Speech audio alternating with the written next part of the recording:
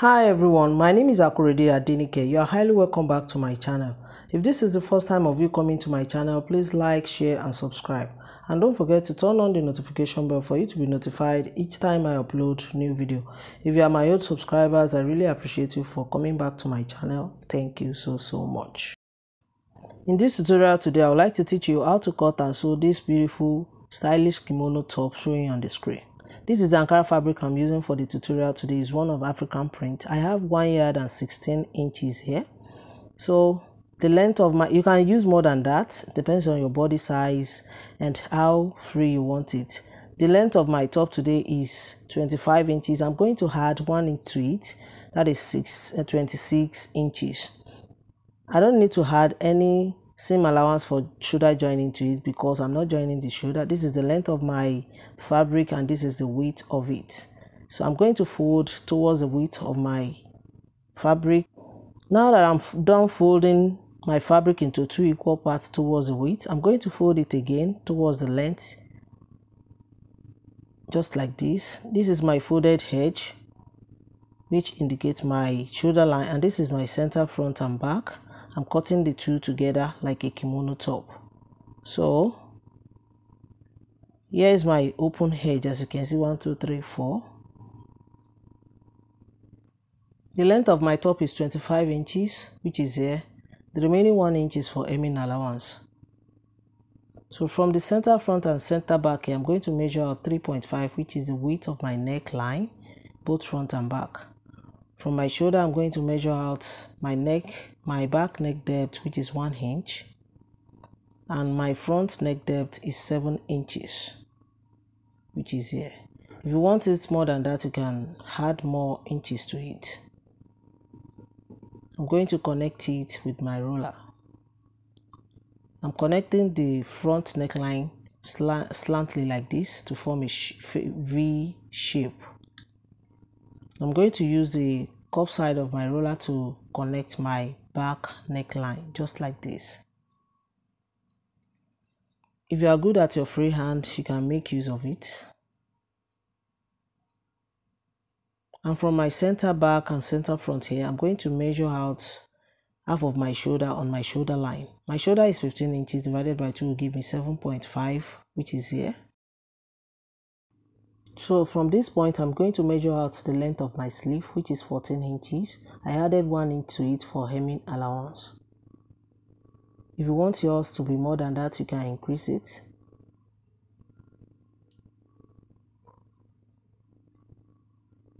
So from my shoulder, I'm going to measure out my waistline. My normal waistline is 17 inches. I deducted 2 inches from it to make my top look stylish very well because at the end of the day the bottom part of my top is going to look like peplum. So i'm going to connect my waist after measuring it out. So i'm measuring 15 inches from my shoulder. This is the elastic i'm using for the waistline which is of half inch. So i'm going to connect it now. So here's my waistline from the shoulder line so I'll let this line reflect to all the parts that my waistline is, both front and back. So I'm making all the markings on the wrong side of the fabric to make my job neat. Make sure you do that as well. So I will now cut the neckline, but I'm cutting the back neckline first.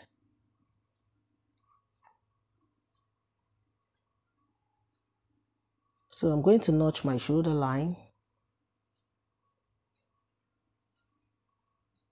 for me to avoid any silly mistakes. So on the center front too, I'm going to notch it a little for me to know where the front, where the center front is. So I'm going to refold my fabric for me to cut out the front neckline just like this. I'm going to spread it and fold it again so here is the, here is my waistline for the back part. This is my neck my back neckline. Here is my front neckline. And here is my front waistline.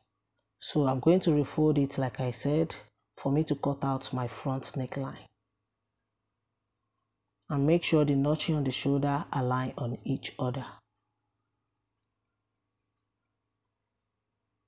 Make sure you fold it very well like I'm doing. This is the notching that is on the shoulder line and make sure it's aligned on each other. So after folding, here is it as you can see, this is the notching on the neck on the shoulder line. So here is my front neckline. So I'm going to cut it out now.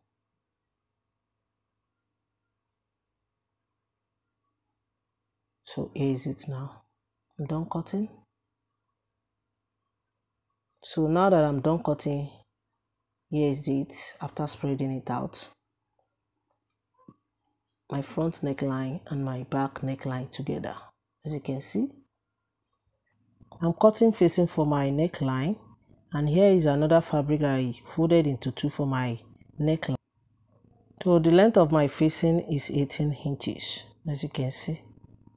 So I'm going to place my top on it like this for me to cut out my neckline both front and back. Just place it on it like this and mark my neckline out before cutting it.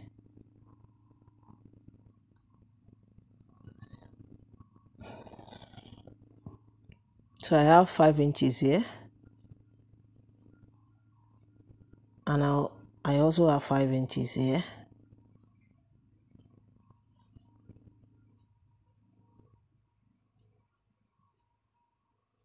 So I'm going to remove my top and continue cutting my measuring 5 inches all around for me to shape out my facing.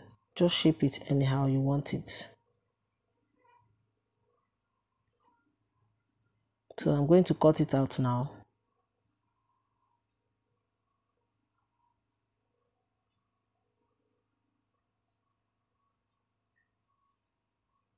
so now that I'm done cutting this is what I have so I'll easily spread my top out and place my facing on my neckline. Let the right side of the facing face the right side of my top. Before stitching the neckline, I'm going to hem my facing all round with quarter of an inch. Better still, you can overlock yours.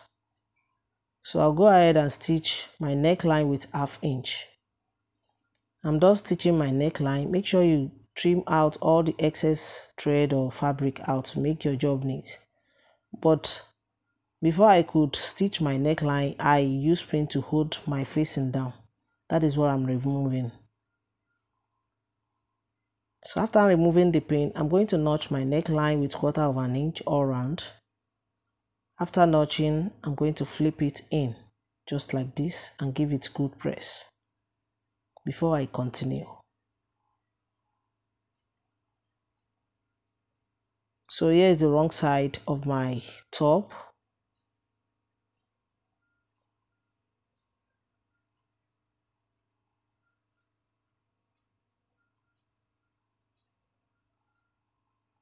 So I'll go ahead and hem the bottom of my top double fold it like this with that one hinge that I said earlier. I'm doing the same thing on the second part of my top which is the front part at the bottom of it. So after all that, this is what I have. I've hemmed the bottom of my top, both front and back. So I'll go ahead and take my elastic and place it on that line that is my waistline. So I'll go ahead to my machine and I'll be dragging it and stitch on the elastic for me to shape out my waistline. I'll do the same thing on the second side drag and stitch drag and stitch till I reach the second side of my top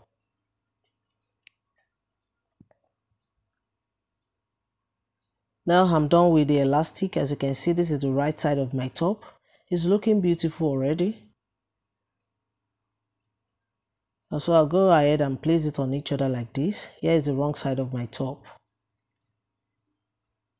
for me to stitch both sides make sure you place it on each other very well let it align on each other on the bottom and on both sides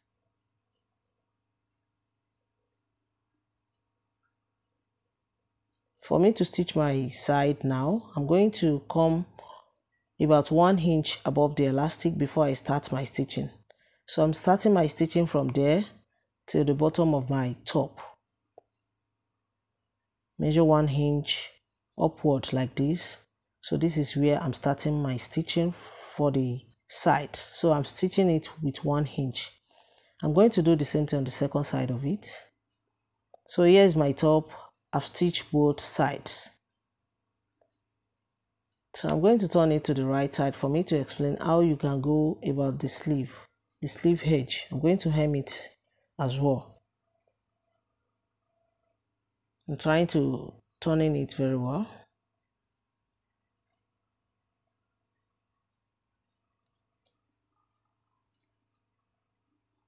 So later i'm going to finish up my neckline with i mean finish up my facing with my glue gum or better still i can use my needle and thread. So this is my sleeve now. I'm going to hem the edges of my sleeve by folding it like this. Double fold and stitch from here till i reach from the from the from that one hinge that i measured above my elastic. I'm going to stitch it all around for me to knit it up. After doing all that I explained, I'm going to give it a good press and put it on for you guys to see the finishing look of this beautiful top. I love it so much. I can't wait to rock it, you know. Here is the finishing look of this beautiful top, guys. If my tutorial has been helpful to you, please give me a thumbs up, subscribe to my channel to support my channel if you have any question pertaining to cutting and sewing or you have a style that you want us to talk about, please feel free to join my Facebook group. Details to Sewing created by Akorede Adenike. I'm on Twitter and Instagram at Akorede Adenike. Please show some love by liking and following my page on Facebook at Akorede Adenike Sewing Tutorial. See you in my next video guys. Stay safe, stay blessed. Bye bye.